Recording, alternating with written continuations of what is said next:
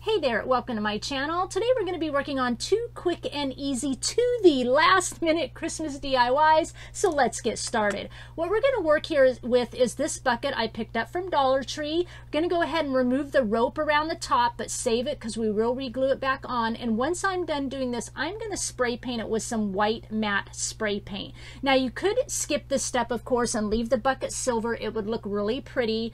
Uh, not an issue. This is what it looks like painted. And then I'm just taking some 120 grit sandpaper and distressing around the edges. We're going to make a really pretty kind of lighted greenery display. Like I said, quick and easy. You could put in the center of like your Christmas dinner table or something like that would look really beautiful. And this quote that I have here, it's a vinyl quote. I created it in Cricut Design Space. I'm having to cut up the quote because the bucket, since it goes narrow from the bottom and large to the top, if I was just to wrap this quote on like normal, it would kind of wrap crooked.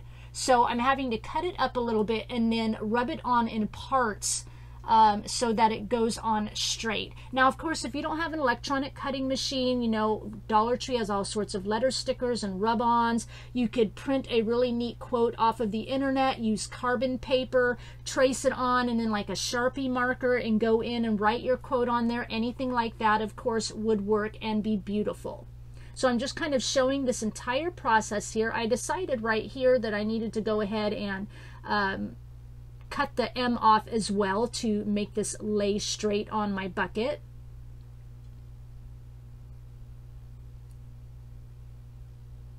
But this is the process I had to go through. I wanted to kind of show you the whole thing. Now this quote, I saw part of it on something from, you know, a picture I saw from a store I think it said Christmas market, and then I made up the rest that said Serving Joy number 1952 just to make it fun. Using Beacon Fabric Tack Glue today, going to go ahead and glue our rope back on. Because I just like the rope, it just adds nice texture. I'm not going to show gluing all of it because, you know, you know how to glue rope back on. And then once this is done, I'm going to go in with the spray glitter that I get from uh, Walmart. I get it in the craft section. Um, I don't know if you can see the glitter here a little bit, but I tried to slow it down for you. This is what I use. It's about $7, but lasts a long, long time. And now I've got a piece of twine and red and white twine and these ornaments from Walmart. And I'm going to add these to the front of our bucket here. And a silver bell that I went ahead off camera and painted white with some white chalk paint. So I'm just going to glue my uh, twine bow on here. And in my red and white twine, I picked this up at Hobby Lobby. I use like buckets of this red and white twine. And then I tied some twine around this word ornament and made it really short so I could kind of glue it right in the middle. And so it's kind of hanging off sideways on the bows. And then I'm pushing that center of the bell in so that it'll be nice and flat to glue on the center here. Let that sit up a bit.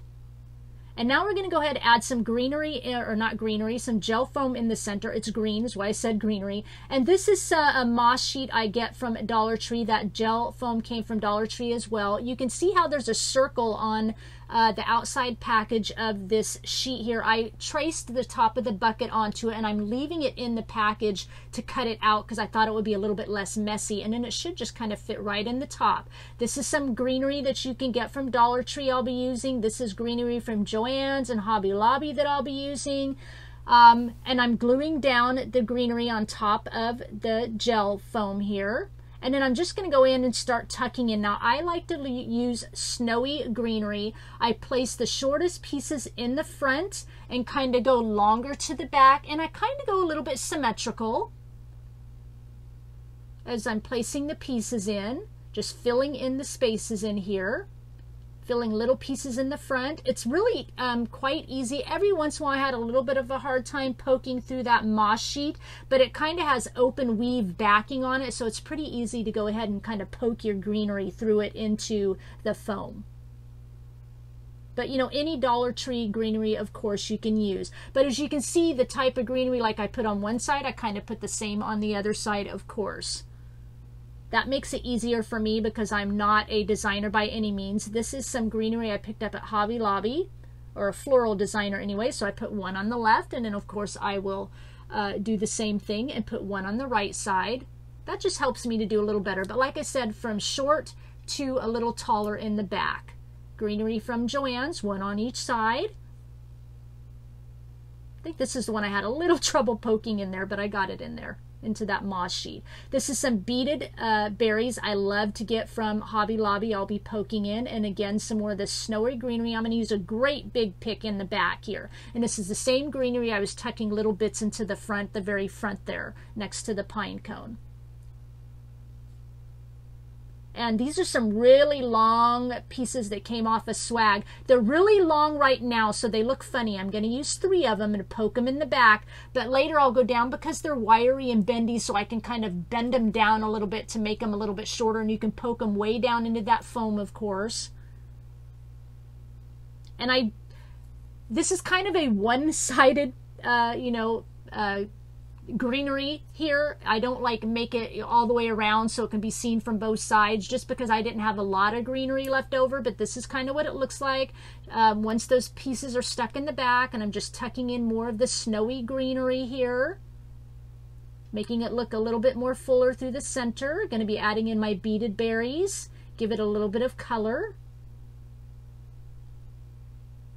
I didn't want to like have to wire everything, so I'm trying to make like a little loop at the bottom to poke it in through that uh, gel foam and stuff down at the bottom. I didn't wait long enough. I keep having to push my bell back on because I got anxious to get started to put everything in, so I kept knocking my bell off. So you might want to wait a little bit if you decide to add a bell there. Uh, let it set up before you start adding your greenery because you know you're turning your bucket back and forth and tucking stuff in and you're hitting it and the bell and stuff like that. So just a little piece of advice tucking in more uh, of the berries. Now i try to add odd numbers so i have two berries in the front two berries kind of at the back and then i'll add there's the fifth berry on the front. So it makes uh, or in the middle, so it makes like five berries, so kind of odd numbers. Going to be tucking in some of this beautiful, I love this uh, pick from Dollar Tree, so I think I cut it up into about five pieces as well. So I'll add a couple on the sides, near the front, then in the back, then in the center, kind of give that odd number look, because that's what they say is pleasing to the eye, odd numbers. And I just think it adds a little texture and just makes it, you know, a little bit more high-end looking. There's kind of that fifth piece. Now I'm going to add some lights. These are lights from Dollar Tree. I'm just going to show stringing it. You can hide it kind of right in that greenery in the back. So it stays up because you want to be able to get to it with the batteries, of course, to change the batteries out. And then I like to tuck it in and around the greenery, of course, but I'll tuck it enough that you don't really see uh, the wire and stuff. I just don't like that to really show. But literally, I think I put this together in about 20 minutes. Besides the spray painting, that takes a little time to dry. But I'll turn some lights off here, just a couple, so you can see it how it lights up. But then once this light is in and all together, this project is complete.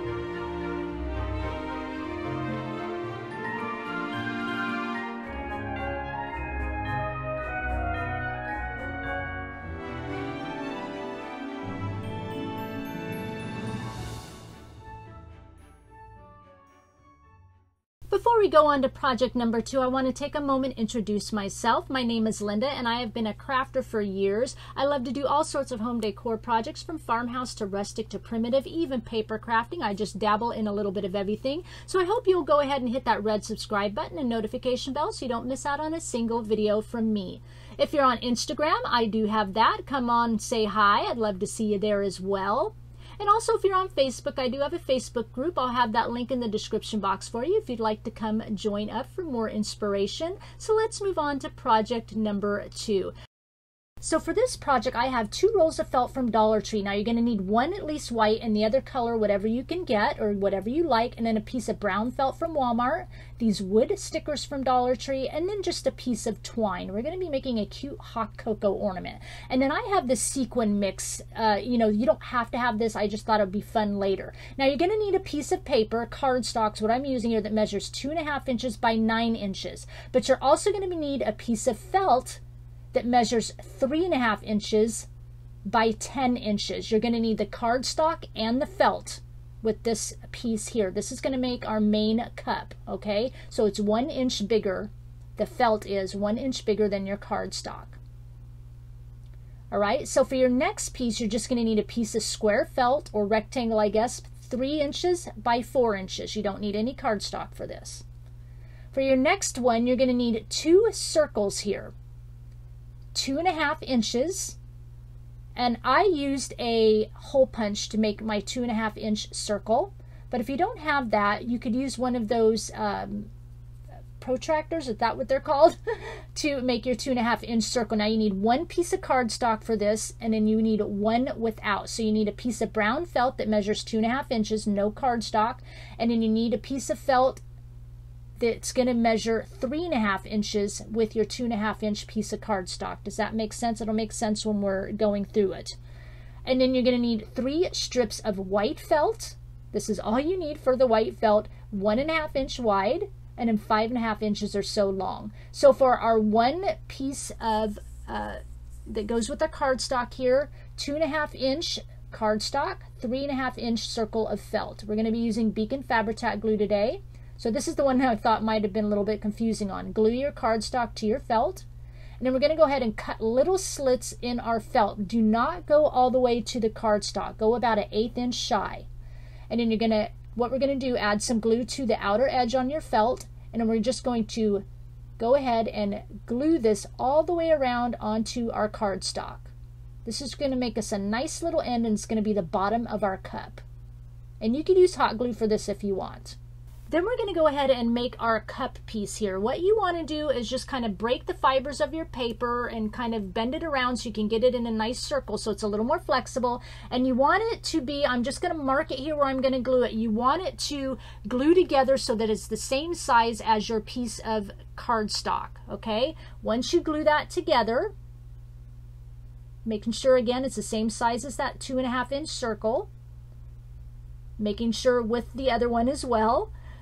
I like to double check. Then we're going to go ahead and glue our felt to the cardstock. Now I know our felt is going to be way bigger because we glued this piece of cardstock together, you know, because we originally cut the felt to fit the cardstock before we glued it into a circle, but that's okay. It all goes together fine. It was just a little bit easier for me to try to assemble this way.